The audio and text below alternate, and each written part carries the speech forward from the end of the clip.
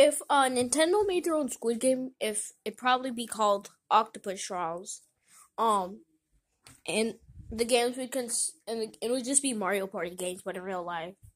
Remember that um, um, maybe most of you don't remember this, but there was like a game where you had to jump upstairs with piranha plants. So the piranha plants, they're gonna have freaking like bear traps attached to like springs. And that's one of the only Mario Party games I remember. I'm sorry, guys. But it is a, it is a Nintendo in case you want to, you know, mm, make the, get some moolah away, in case you want to be like Mr. Beast 2.0. Hmm. Got some big brain tips right here. Just have some questions, you know. Hmm.